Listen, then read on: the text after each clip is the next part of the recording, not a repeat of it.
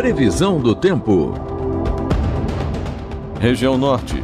Macapá, capital do Amapá, tem previsão de céu com muitas nuvens e pancadas de chuva.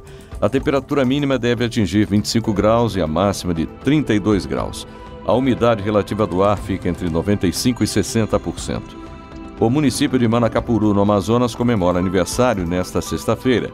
A previsão do tempo na cidade é de céu com poucas nuvens, as temperaturas variam entre 23 e 30 graus, a umidade relativa do ar oscila entre 100 e 70%.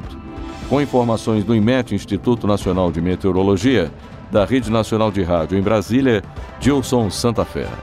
Previsão do tempo na Rede Nacional de Rádio.